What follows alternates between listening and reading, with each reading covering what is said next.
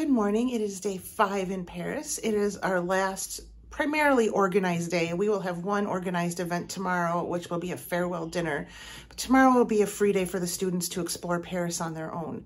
Today, we will first be going to a courthouse. This was just added to the itinerary this morning, essentially, so I'm excited to see that. I love seeing a courthouse. We will then be going over to the Notre Dame area. You did see a little video when we passed by that yesterday, seeing all the scaffolding from the fire that happened there a couple years ago. So that's really sad, but it'll still be great to go and look over in that area of Paris. There will be some free time for students to have a long lunch and do some shopping. And then we are going to the Orsay Museum, which is more modern art than the Louvre that we saw yesterday. And then after that, we will take a trip out to the Eiffel Tower, where we'll be able to see that up close for the first time. So I think it's going to be a great day. Come along with us. My name is Shelly. I study the criminal justice program. My name is Caitlin, and I am in the program. My favorite thing was the tour of London. Uh, I really love the palace and uh, seeing all the old artifacts. I liked my like tour that I did with the police officers in London. I felt like I learned a lot about what they do and some of the things that are different from what our cops do versus what their cops do. We took a new form of transportation this morning, a tram, over to what is essentially a trial court building that was built just in 2020. So as you can see, it's very modern and new.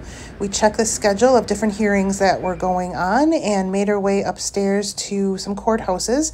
You see an example here. I wasn't able to take a picture in the hearing we actually saw for, for obvious reasons, but it was really interesting. We then walked through a nearby park, which I think would be absolutely beautiful in the summertime. And even in the wintertime like this, it's not too bad. Everybody got a kick out of this particular duck because it's so colorful. We then made our way over to Notre Dame, first passing by this building, which has a reference to the Olympics that's coming later this summer. Uh, here is the area near the Seine where we crossed a bridge to get over by Notre Dame. We split up a little bit. This is the group I was in for lunch today. And then I stopped to get a crepe after lunch because I hadn't had a crepe yet. I got one that is caramel, it was like a salted caramel inside. It was really, really good. But here are just some video of him making the crepes on the little griddle-like thing that they have that they use to make them. You can find crepe stands in lots of different places, especially in the touristy areas of Paris, and it's always a good thing to stop and get. So I really enjoyed my crepe, and then we made our way over to Notre Dame to take some pictures, which you'll see coming up.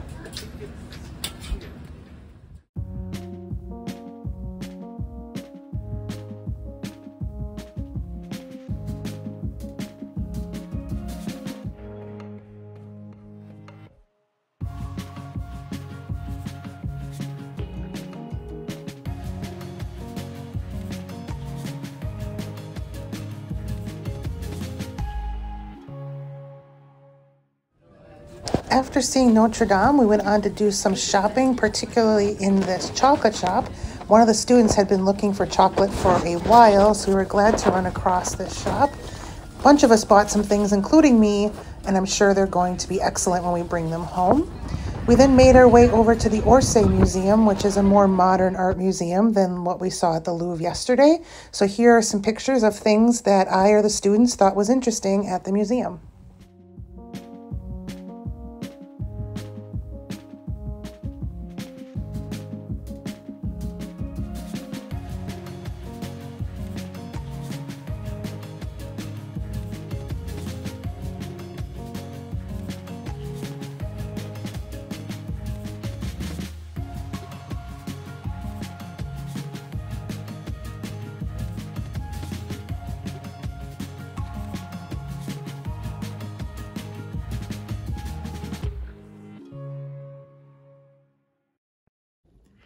And now for lots and lots of Eiffel Tower pictures. Hope you enjoy.